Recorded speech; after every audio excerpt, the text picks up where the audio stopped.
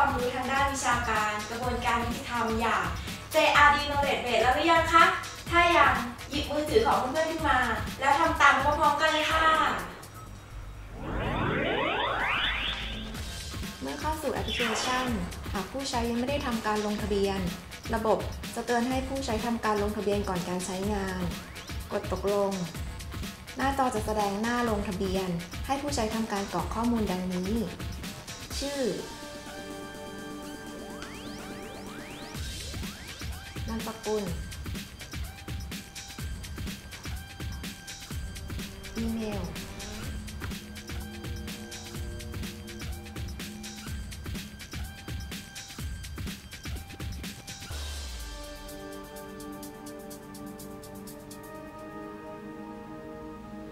กดยืนยัน เพื่อขอรับรหัส OTP ซึ่งจะถูกส่งไปยังอีเมลที่ผู้ใช้ได้ระบุเอาไว้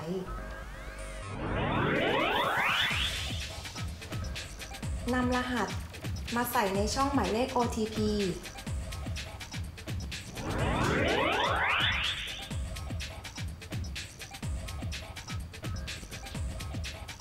จากนั้นเลือกกลุ่มผู้ใช้ เมื่อเลือกเรียบร้อยแล้ว เรากด Register ระบบจะแจ้งว่าผู้ใช้ได้ทำการลงทะเบียนเรียบร้อยแล้ว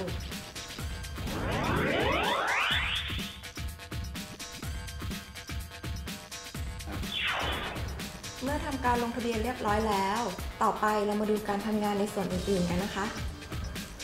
เมนูแรกคือเมนูเอกสารใหม่ เป็นเมนูสำหรับแสดงเอกสารใหม่ภายในเดือนปัจจุบัน เลือกเอกสารที่ต้องการศึกษา แอปพลิเคชันจะแสดงกล่องข้อความ ให้ผู้ใช้ได้สามารถเลือกอ่านเอกสารบทคัดย่อ โดยการกดปุ่ม Preview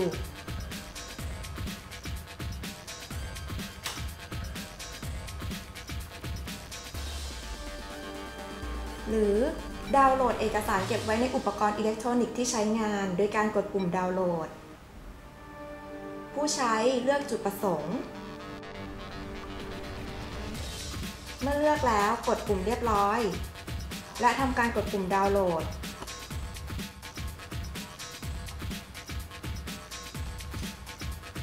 เมื่อดาวน์โหลดแล้วผู้ใช้สามารถเข้าไปตรวจสอบเอกสารที่ดาวน์โหลดมาได้ที่เมนูเอกสารของฉัน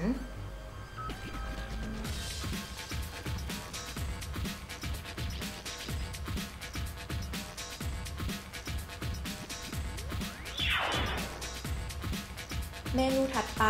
เมนูเอกสารของฉัน เป็นเมนูสำหรับแสดงเอกสารที่ผู้ใช้ดาวน์โหลดมาเก็บไว้ในอุปกรณ์อิเล็กทรอนิกส์ ผู้ใช้สามารถเลือกอ่านเอกสารได้ โดยใช้แอปอื่น ๆ ที่สามารถเปิดไฟล์เอกสารได้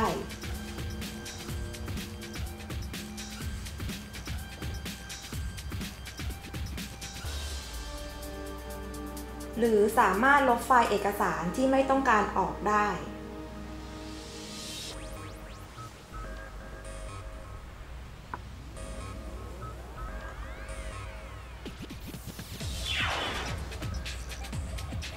เมนูรวมเอกสาร เป็นเมนูสำหรับแสดงเอกสารทั้งหมดที่ถูกเผยแพร่ โดยแบ่งเป็น 3 ระดับ ระดับแรกเปรียบเสมือนตู้ แบ่งเอกสารออกเป็น 4 ประเภทได้แก่ ผลงานวิจัย บทความ รายงานสถิติ และกฎหมาย เมื่อเลือกประเภทใดประเภทหนึ่ง เช่นงานวิจัย หน้าจอจะแสดงข้อมูลหมวดหมู่ย่อยในระดับที่ 2 ซึ่งเปรียบเสมือนลิ้นชัก เมื่อกดเข้าไป หน้าจอจะแสดงผลในระดับสุดท้าย ซึ่งเปรียบเสมือนไฟล์เอกสาร ผู้ใช้สามารถเลือกอ่าน เอกสารบทคัดย่อ หรือดาวน์โหลดเอกสารเช่นเดียวกับเมนูเอกสารใหม่ที่กล่าวไว้ข้างต้น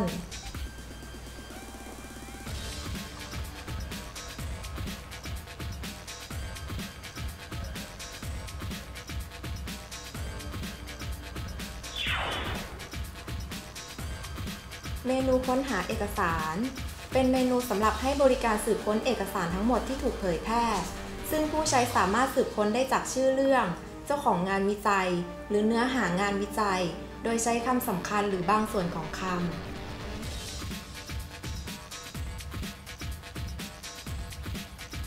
เมื่อผู้ใช้ระบุเงื่อนไขในการค้นหาครบตามที่ต้องการแล้ว ให้ทำการกดปุ่มค้นหา ซึ่งจะได้ข้อมูลเอกสารที่ตรงตามเงื่อนไข ผู้ใช้สามารถเลือกอ่านบทคัดย่อ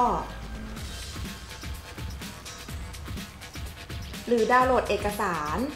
เช่นเดียวกับเมนูเอกสารใหม่ที่กล่าวไว้ข้างต้น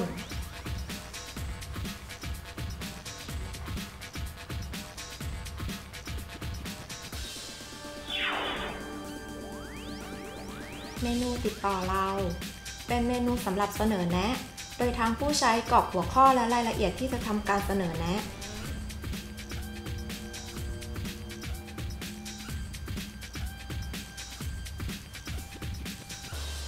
กดปุ่มเซ็น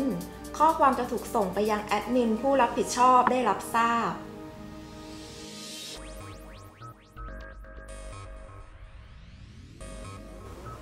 ระบบได้ส่งอีเมลสำเร็จแล้ว กดตกลง จะเข้าสู่หน้าหลัก